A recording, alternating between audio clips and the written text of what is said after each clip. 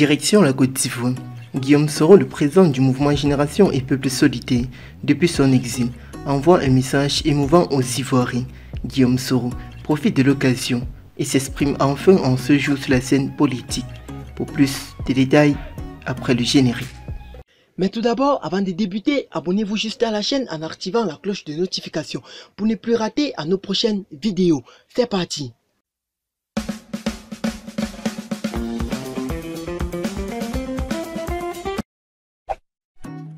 Après le retour du président Laurent Gbagbo en Côte d'Ivoire et plusieurs figures de l'opposition au pays, la réconciliation nationale semble bien entamée, excepté pour Guillaume Kiba Soro, le président du GPS, exilé en Europe et condamné à perpétuité le mois dernier pour tentative d'atteinte à la sûreté de l'État.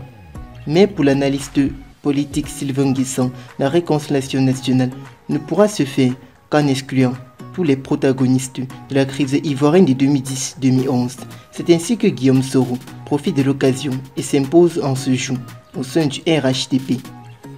Il ne faudrait pas limiter cette affaire de réconciliation nationale en Côte d'Ivoire aux principaux acteurs de la scène politique ivoirienne, que ce soit M. Laurent Gbagbo, le président du FPI, Henri Konambeti, le président du PTC RDA, Alassane Ouattara, président du RHTP, Guillaume Soro, et le président de Génération et Peuple Sodité, j'en passe, a-t-il et à ses acteurs. Mais il faut aussi et surtout impliquer les principales victimes de la crise ivoirienne, telles que Isiaka Diaby.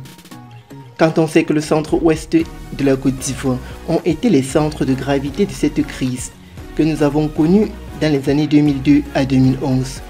Il faudrait, il faudrait aussi bien intégrer M. Guillaume Kibaforisoro que les principales victimes de cette crise-là dont M. Guillaume Kibaforisoro devrait y être impliqué au nom des responsabilités qu'il a eu à assurer, à assurer et assumer au sein de Génération et Peuple Solitaire et du RHTP quand il était encore là-bas.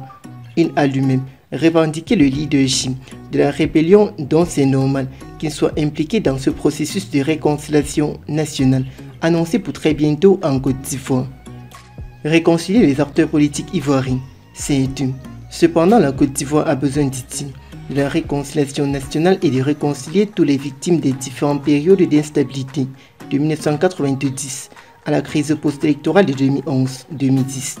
Quand on parle de réconciliation, il faut remonter aussi loin que possible, comme l'a fait l'Afrique du Sud, comme a tenté de faire le Rwanda, de manière à impliquer le plus de victimes possible, de les entendre et dans les mesures du possible que l'État de Côte d'Ivoire puisse porter assistance, c'est-à-dire réparation, réparation à ses principales victimes. À ce niveau-là, on pourrait parler de réconciliation nationale, sinon il s'agit juste de faire asseoir le président Laurent Gbagbo, Henri Konan Alassane Ouattara et le premier ministre Guillaume Kibaforisoro pour qu'ils puissent échanger entre eux. Ce compromis politique, oui, la Côte d'Ivoire en a besoin, mais ce n'est pas cela, la réconciliation.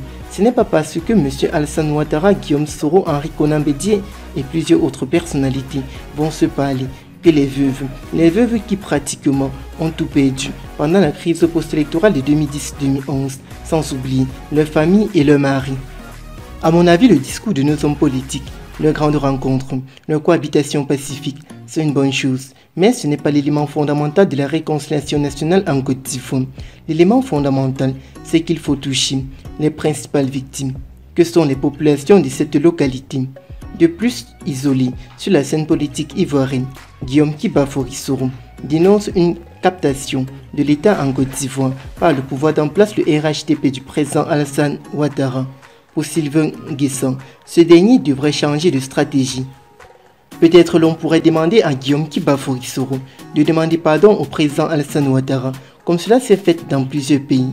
La question immédiate qui s'ensuit serait quelles seraient les implications de cette demande de pardon. On imagine un peu ce que Guillaume Kibaforisoro prépare derrière sa tête. Ça, c'est une autre paire de manches pliées par les Ivoiriens en Côte d'Ivoire.